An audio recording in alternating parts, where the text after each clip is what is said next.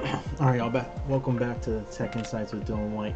Um, I wanted to take Friday afternoon and figure out if I could pass one of these new Microsoft Applied Skills challenges in less than an hour. So let's pick one and see if I can, if I think I can grab one of these real quick.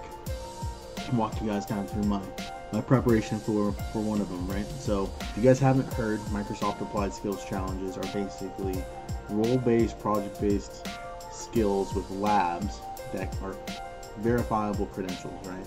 And they basically says I can do X thing that Microsoft says, and employers want you to be able to do, right? So when we look at this list of, you know, browse credentials, right, for Microsoft Learn, right now there's eight credentials, and after Microsoft's large conference, Microsoft Ignite, in a couple weeks, they're going to announce five or six more credentials, um, some in the AI space, and then a few other project-oriented ones geared towards professionals that are looking upskill. And so when we look at these eight results that exist today, the ones that kind of jump out at me right away, obviously, from a security perspective, are configuring SIEM, security operations using Microsoft Sentinel, configure secure access to your workloads using Azure Networking, uh, security storage for Azure Files and Azure Blob Storage, secure Azure services with and workloads with Microsoft Defender for Cloud regulatory compliance. And also what you can see is that you can add those credentials directly into Microsoft Learn via collection. Uh, for those that don't know about Microsoft Learn, collections allow you to go directly to your collections area and start studying instead of having to come back and look again. Um, I'm a big fan of Defender for Cloud and Sentinel, so I'll probably pick one of those two. Thinking for the time set aside, I'm probably going to look at Defender for Cloud. So let's see. Right, it jumps you into this um, secure Azure services and workloads with for Cloud regulatory compliance controls. Right, levels intermediate products are Defender for Cloud and Azure. Security subject administrator role. You can go through the overview, right, to earn this applied skills credential learners will demonstrate the ability to implement regulatory compliance controls as recommended by the Microsoft Cloud Security Benchmark. Candidates for this credential should be familiar with Azure Infrastructure Services, Platform as a Service, and they should have experience with security capabilities in Azure along with a working knowledge of regulatory compliance standards. So you have to configure Microsoft Defender for Cloud, implement just-in-time virtual machine access, implement a log analytics workspace, mitigate network security tasks, mitigate data protection risks, mitigate endpoint security risks, and mitigate posture vulnerability management risks. Um, and they also allow you to, you know, have modules right away. You know, secure access services work with Microsoft Azure Cloud for regulatory compliance. Are learning path. Six modules, um, which equates out to just over three hours and 47 minutes of what they say you should learn. Right, so you can save that learning path Right, some things you should learn around it is filter network traffic with the network security group, create log analytics, right? So we need to do that. Set up Defender for Cloud, configure and integrate a log analytics agent and workspace in Defender for Cloud, configure Key Vault, and connect Azure SQL using an Azure Private Endpoint using the Azure portal. Right? You have two hours. It's an interactive lab. It'll take a few minutes to load. All right, so I think I'm just gonna go for it. I'm gonna save the collection just in case you don't pass. I'm gonna save it. Um, as you can see, I have a few of them. Uh, this is going to be the Defender cloud. Drop a picture of cloud. Let me change this to Storm Cloud if I don't pass. Um, we'll call it Defender for Cloud. Make it public. And we'll just you know, we'll save it and see what happens.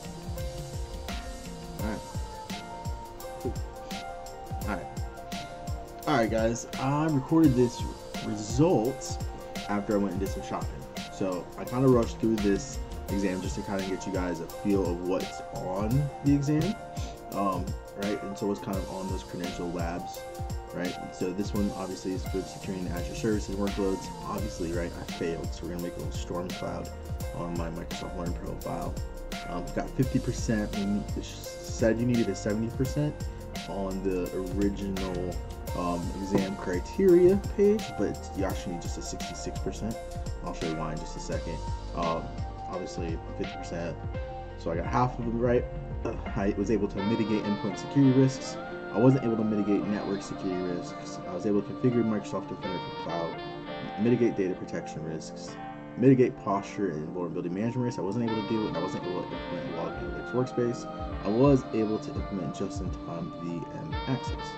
Um, what I will say about setting up the lab and making sure, right, I, that you know the material, I would go through the collection of, from Microsoft Learn. I definitely prepare properly, right?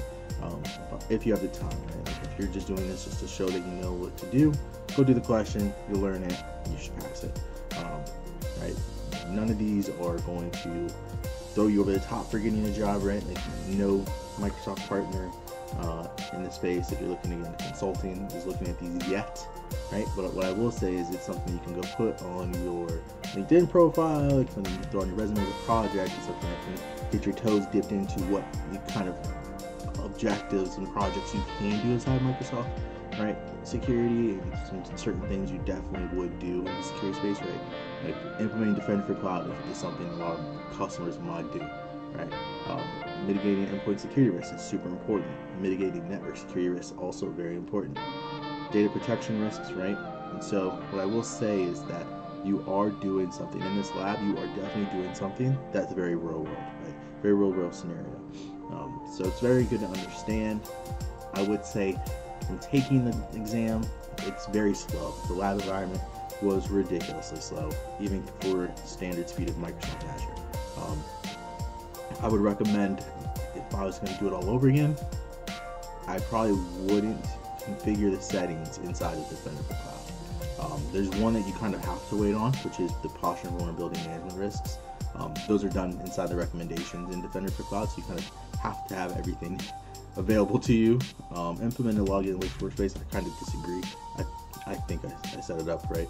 Um, so that's an interesting one, but it kind of is what it is, right? So from taking it, it's only been out for what's two and a half days. Um, I think it's really going to be great as they continue to make different evolutions of it and they keep making improvements. Um, I think it's really good for industry. I think it kind of sits in between the space of the fundamentals exams and the administrator exams. I think it does really well. It'll send you a little bit of apart and send you above and beyond and getting you on your way to practice. Um, and it's good, right? It's good for all of us to understand. I also think there's some good environments in there for you to learn, right?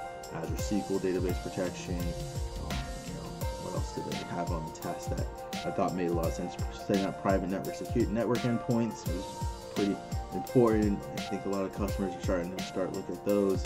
Um, obviously, just-in-time VM access has been out for a really long time, and it's really important to know. Uh, pro tip on that: make sure you take a look at your network security groups and if they're set up the lab. So, that being said, you have if you do fail, you have to wait 72 hours before you can retake it. So, obviously, 72 hours, three days. I probably won't take this again until Tuesday. Take it again, and I'll show you guys those results. But once again, this is the Microsoft Applied Skills for Defender for Cloud. And until next time, see you guys tomorrow.